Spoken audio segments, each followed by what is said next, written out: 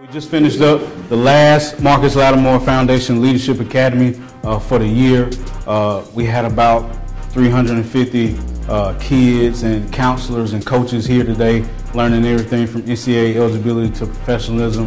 Um, I usually bring in a speaker at the end of the day uh, to put everything together for the kids and I wanted something great and somebody inspirational uh, since it was our last one. So we found out that Brandon Maye was going around and going all over the country doing motivational uh, engagements. So we called him up, and it was the best thing we could have ever done. Uh, was booking Brandon and having him speak to our uh, youth student athletes today. Um, they will never be the same after the day. Uh, the kids were very inspired. Think about that for a second. If you had no more life tomorrow, how hard would you go today? I'm not talking about just on your sport. We're gonna go past the sport today. We're talking about when I come in here, we're not gonna leave the same way. When I come in here, we're not gonna, when I, when I finish today, you gotta talk different, you gotta walk different. When you leave here today, you gotta think on a different level. He was a very inspirational speaker to me, and I know he has changed a whole bunch of lives in uh, his lifetime doing what he does. Right now, you're, you're allowing your, your sport to really pimp you. You're allowing your sport to be everything that you focus on. So when you get to the classroom, like you can go in the weight room, you're killing it, 500 pounds, yeah, throw more weight on. And then you get to the classroom, you're getting beat down by a two ounce book. That don't add up. That don't add up. And so I knew that I was that one day it was gonna come that I had to be more than a, a, a football player. It was the reason why student first and athlete second because I was preparing for the future. What are you doing to prepare for the future? Your purpose is something, the reason why you do what you do. What's your reason why you do what you do? I need you to challenge yourself when you leave here. I need you to figure out why do I really do what I do?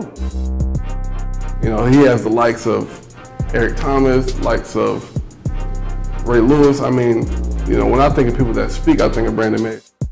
What would you be really made of? Are you just made of a soccer ball, or Major League Baseball, or the NBA, or chasing the NFL? Is that what you're really made of? Because one day you're gonna be somebody's mom. You're gonna be somebody's dad.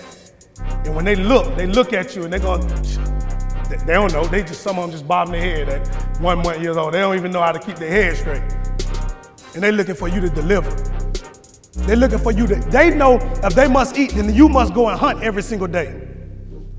You must wake up every single day and you must chase greatness. You must chase what you want in life and never let somebody tell you what you can't do.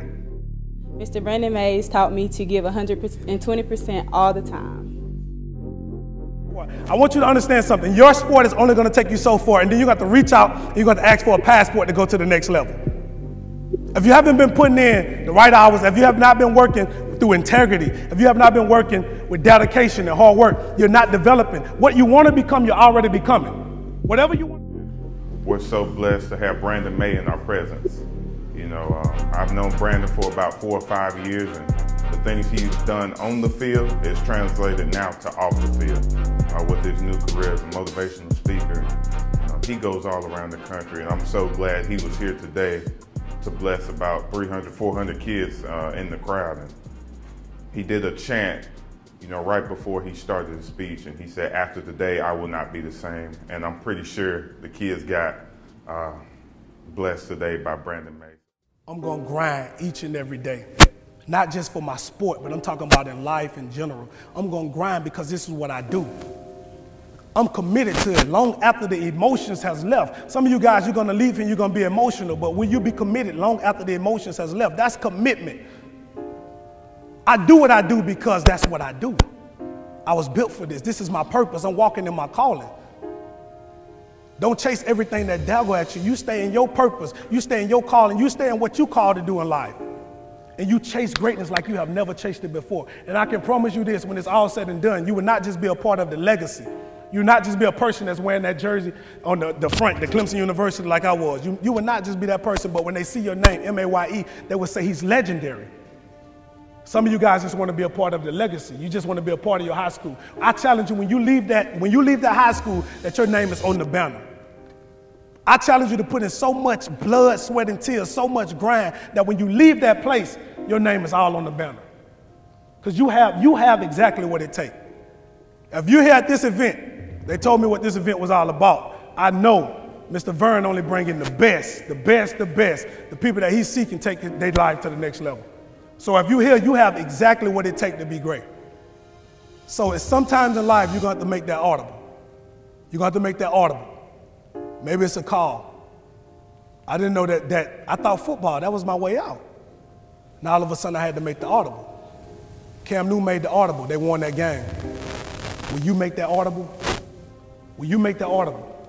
The only way that you're going to be ready to make the audible is if you start filling yourself up with the right information, the right knowledge, getting the right tools in you. So when adversity strikes, some of you guys, when adversity strikes, now you're going to break because you're not built for that. You're not built for adversity. I challenge you to start putting yourself in the right environment that's conducive to what you want to become in life. You have exactly what it takes. So, guys, I challenge you to not be inspired. Don't be inspired. That's easy.